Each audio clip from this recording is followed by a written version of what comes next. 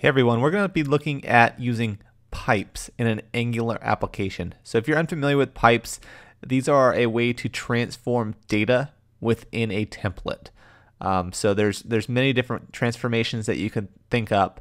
We're going to be using one example in particular, one that I find myself using quite a bit, um, but we'll get there as as we get there. Um, so the first thing that you want to do is you, you probably do want to have the Angular CLI installed. Uh, if you're if you're developing an application for say NativeScript or Ionic Framework, make sure you have their CLI installed. But but for this example, we're just going to be using the Angular CLI. So this is a web application, but the concepts will apply elsewhere as well. So let's go ahead and create a new project. I'm going to create it on my desktop. I'm going to say ng new my project.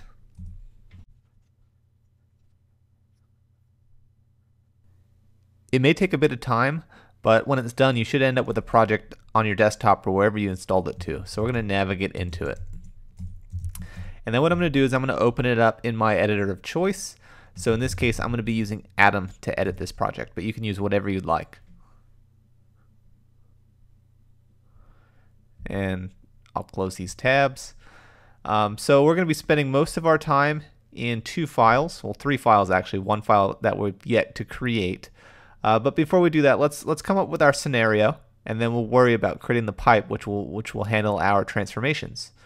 Um, so within your project, go ahead and go into the source directory, and then the app directory, and we're going to spend our time in the app component.html file and the app component.ts file. So the goal of this example is we're going to transform an object so that way it could be looped through using a uh, an ngFor. So what we want to do is we want to do the following. So first of all, let's go ahead and wipe out this line. We're not going to need it for this example. I'm going to fix my tabs here. And I'm going to start by entering the following. I'm going to say public, let me tab it, public info. This is going to be of type any. But in reality, it's going to be an object. I just don't want to define my object as an interface first, so we're going to use any. Then we're going to say public constructor. And we're going to go ahead and set up that object. This dot info equals, and then let's go ahead and say first name, last name, and we'll say maybe URLs, and this will be an array. And the first URL might be this blog. Second URL might be some kind of social media. It doesn't really matter. I'll use my Mastodon account.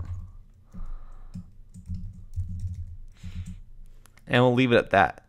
Um, so what's going to happen is, so if you're familiar with ngFor, you're familiar with being able to loop through an array. But really, you can't loop through an object. If you're familiar with AngularJS, looping through an object was possible. Um, and you might be wondering why you might want to do this in the first place. So it's incredibly useful to be able to loop through an object if you want to have dynamic content. Not dynamic content as in like dynamic values, but maybe you have a form and that form evolves over time based on something in your database. Um, or you may have a bunch of NoSQL data in your database and you want and you don't know what that data is. You just want to be able to print it out on the fly. Being able to loop through each of these properties is definitely a good thing. So what we're going to do is we're going to create a pipe that will allow us to do this.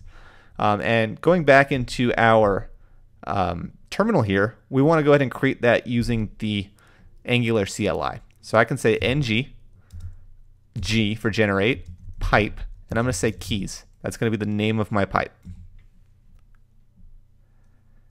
And what that did was it created a pipe file. So it created it keys.pipes.ts. And this is where we can define what happens in our transformation. So let's go ahead and fix my tabs here. I always like to say public here, even though you don't have to. Um, and we're going to start defining uh, what this does. So this is, of course, a transformation.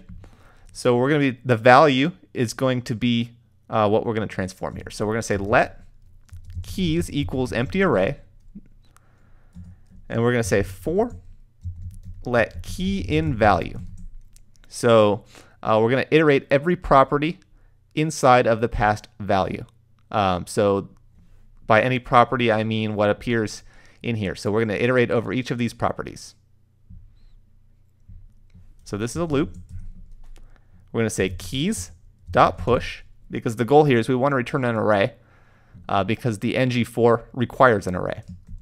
So we're going to say key, and that's going to be key, and value. It's going to be value key. Um, so if you haven't if you haven't noticed, what we're doing is we're returning an array of objects now. So we're, we're taking an object and we're turning it into an array of objects. And that array, so each object in that array has a key and a value. And that'll be useful when it comes to uh, printing stuff out on the screen. So the return value, what we're going to do is we're going to return the keys and hit save. So that's all. Hold on. Uh, no, it actually worked. I don't know why it threw a little error there for a second, but it worked. So what we have to do is now we have to import uh, this pipe into our application. And what where we do that is we do that inside of the app.modules file. And as you can see, the CLI has already done that for me. So we don't really need to worry about that. If you're not using the CLI or using an older version of the CLI, you'll still have to do it manually. So the next step is to go to our app.component.html file. And at this point, we can actually worry about printing it on the screen. So we're going to remove that. I'm going to say div, and I'm going to say ngFor equals let i of info. So typically, um, as of right now, if that if info was an array, i would be each item in that array. But it's not an array, it's an object. So we have to use our pipe. So we're going to use this pipe character, and we're going to say keys. So that's the name of our pipe. So that does our transformation. And now we can actually start worrying about printing it on the screen. So let's say P, so paragraph, we're going to say ngIf equals, so if i dot keys, not keys, key, because remember we have a key and a value now. If i dot key not equals, we can say uh, URLs. Then we're going to show this on the screen. i dot key, and we're going to say i dot value. And the reason why we're doing that is because if we go back into our app dot uh, file. Uh, so URLs is not an object. So if it's if it's not an object, uh, what we're doing is we just want to print it out. We don't want to worry about uh, if it's if it's not an object, we're just going to print it out. So the last name and, and then whatever the value is. If it is an object or if it is an array, we want to loop through that array again. So let's go ahead and take a look. So we're going to say if, uh, so we're going to say div ng if equals so if, if the key equals URLs, so if it is an array, not an object, sorry if that was a little confusing at first. I had to think about what I was saying.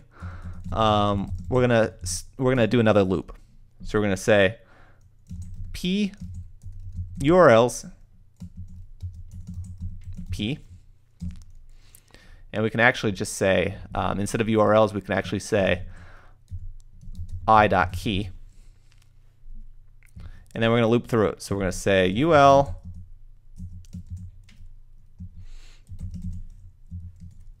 I'm going to say li ngFor equals let URL of URLs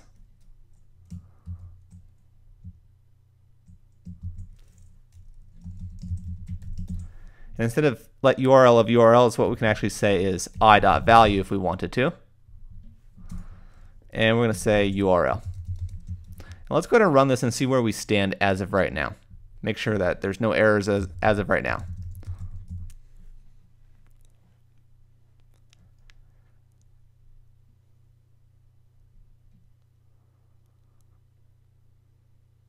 All right, so it's running. If I go to localhost 4200, so it went in and it printed all, all of this information exactly as it should. So if I wanted to, I can go uh, back into my app.component.ts file I can have something like uh,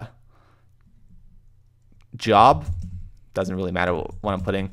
I'm going to say uh, advocate. Hit save. Um, and now that shows up in my list. So you can see how being able to use these dynamic features of, of this object is, is definitely a good thing. And this is made possible by using a pipe. So we were able to convert our object into an array, and then we were able to present them on the screen. And, and like I said, it's not particularly useful just to print it all like this. It could be, but um, a lot of times when I find myself using it, it's because I'm populating a form. So I'm, I'm building a form based on information in my database. Um, and that's that's the way I use it. And then so pipes, it doesn't have to be narrowed down to just this example. You can do any kind of transformation you want when it comes to a pipe. Um, this is just one of many examples. Uh, I'm sure that there's other examples that'll better meet your needs as well.